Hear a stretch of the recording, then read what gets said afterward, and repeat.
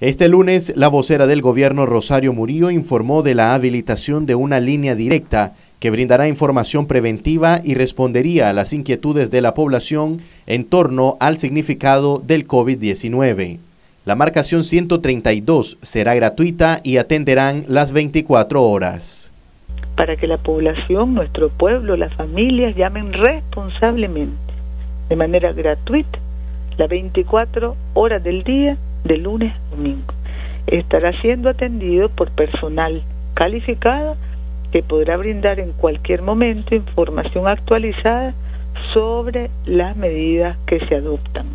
También eh, nuestro pueblo podrá aclarar dudas, inquietudes, recibir información, más información preventiva y sobre todo, sobre todo, darle, continuar, continuar con la responsabilidad y la seriedad que nos caracteriza. En cuanto al más reciente reporte de las autoridades de salud sobre el COVID-19, registran un caso en recuperación que podría ser dado de alta lo más pronto posible. Se han realizado pruebas del COVID-19 a personas que lo ameritaban, resultando todas negativas. Tenemos hasta esta mañana tres casos positivos todos importados.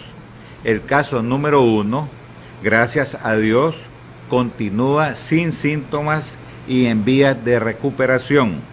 El caso número tres, la señora de 52 años que ingresó de Estados Unidos se encuentra en condiciones estables y cumplimiento tratamiento.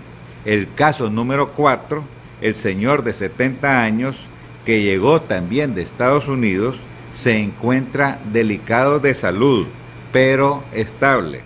Hasta este momento tenemos un fallecido por esta causa. Caso número 2.